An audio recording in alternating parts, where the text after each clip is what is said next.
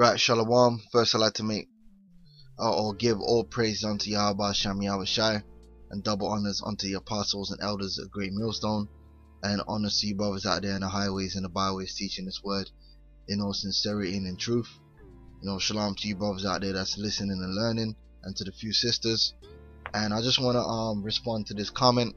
It says, could you make a video teaching us how to prepare what we should, what should we be doing with our money we have now if it's not gonna have value we stack food supplies now it has an expiration date.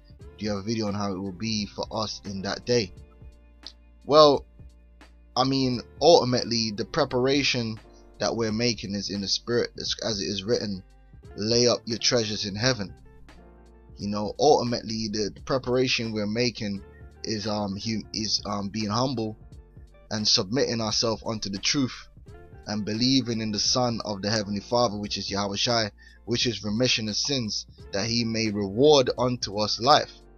Because life and death is in his hand. Regardless of any preparations you may make in this physical realm, the judgment of life or death is with the Lord. Point blank period. So the the, the, the preparations we make is um the workings of our faith. That's the preparations.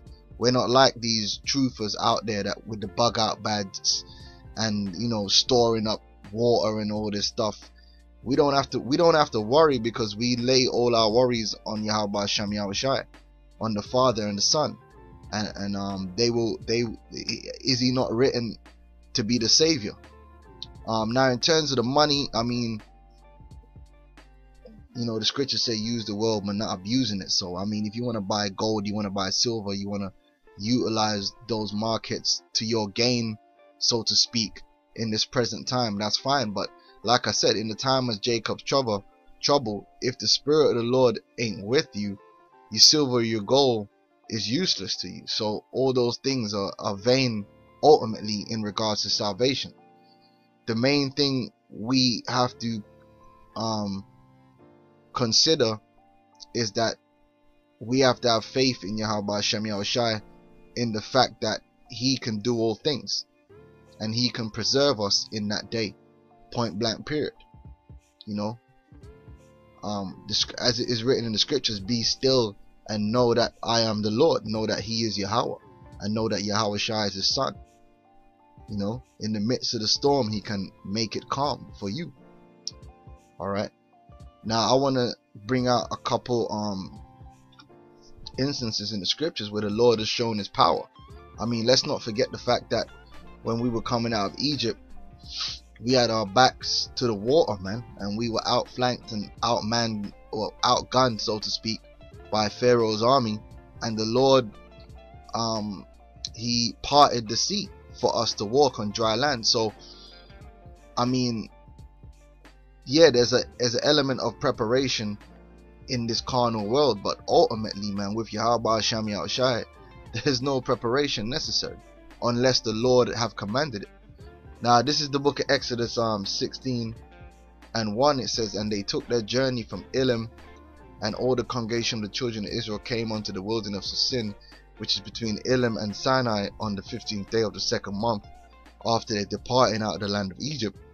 And the whole congregation of the children of Israel murmured against Moses and Aaron in the wilderness. And the children of Israel said unto them, Would to God we had died in the in uh, sorry by the hand of the Lord in the land of Egypt, when we sat by the flesh pots, and we did eat bread to the full. For ye have brought us forth into this wilderness to kill this whole assembly with hunger, which a lot of um our people are going to die by way of famine. That's already recorded in the scripture. Yes, then said the Lord unto Moses, Behold, I will rain bread from heaven for you, and the people shall go out and gather a certain rate every day, that I may prove them whether they will walk in my law or no. So the Lord actually, you know, sent bread from heaven to feed them, and also the Lord also sent coins, um, sorry, quails. Um, Exodus 16 and 13, and it came to pass that at even the quails came up and covered the camp, and in the morning the Jew lay round about the host. Okay, and um,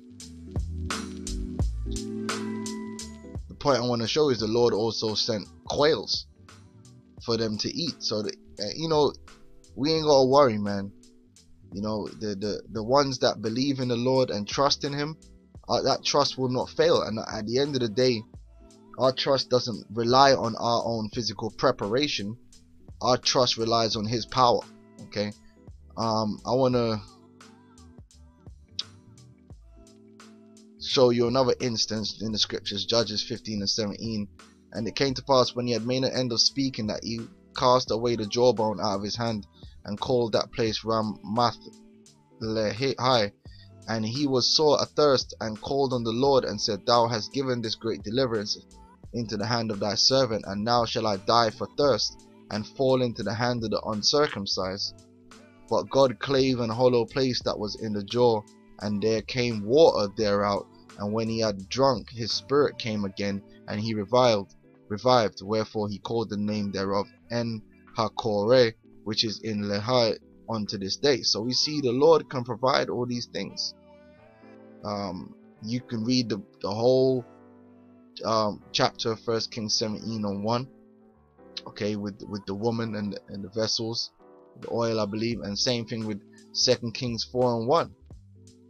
All right, you know, um, you can read the whole of that chapter, and there's, I mean, various um, examples in the scriptures where the Lord delivered his people or his prophets from hunger and from thirst, from the sword. The Lord is in the power that the, the hand of the Lord to deliver you, man. Regardless. Now this is Luke 12 and and 7. It says, But even the very hairs of your head are not all numbered. Fear not therefore, ye are of more value than many sparrows. Also I say unto you, whosoever shall confess me before men shall the Son of man confess before the angels of God.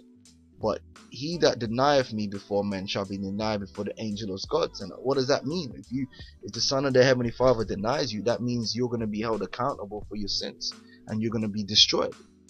But if the Lord if, if the Lord, if Yahweh Shai um, um, confesses you, then you shall be redeemed and you shall be protected.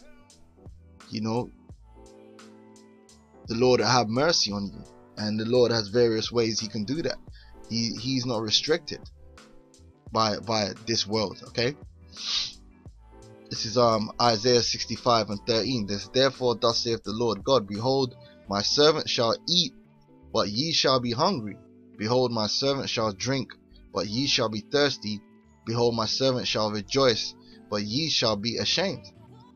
Okay, so the Lord is going to provide for those which are of His. Okay, however He decides to do that, we don't have to worry about, like I said, bug out bags and prepping and all that kind of stuff. It's not necessary because we then then you start relying on that, on the arm of flesh, rather than relying on the power thereof. Okay, this is about faith. This is about believing in Yahweh Ba'asham Yahushai that he can do all things. And the Lord is going to show that he can do all things, man, once and for all. And and the vessels for that is the elect. We're going to be saved from from from um some serious tribulation. This is Psalms 33 and 18. It says, Behold, the eye of the Lord is upon them that fear him, which is beginning with the elect, and upon them that hope in his mercy. Because ultimately, this thing ain't just a like see these preppers are not looking at it from a form of mercy from the heavenly father they're looking at it from there's from a secular um, point of view or there's just gonna be a, um, a famine or whatever and i'm gonna prepare i'm gonna basically they're trying to save themselves. But ultimately we're not we're not trying to save ourselves through our works of our hands but through faith in Yahweh Shai. You know what I'm saying? So so at the end of the day our hope is in his mercy and through his mercy we shall eat and through his mercy we shall drink and through his mercy we shall be delivered from from um from sin. Okay it says to deliver their soul from death and to keep them alive in famine so there's there it is okay so we ain't gonna worry about that our soul waited for the lord he is our help and our shield for our heart shall rejoice in him because we have trusted in his holy name See, we're not gonna be delivered because we was yo, you were smart enough to start prepping and get a bug out bag. We're gonna be delivered simply because it is a sanction of the Son of the Heavenly Father, man, and, and that's the point. That's that's it. Okay, let thy mercy, O Lord, be upon us, according as we hope in thee. So our hope is in Yahweh Shai. And uh, if any, if there's any preparation we make, we prepare our hearts and we prepare, prepare our souls to receive Him. And with that, I'm gonna say Shalom.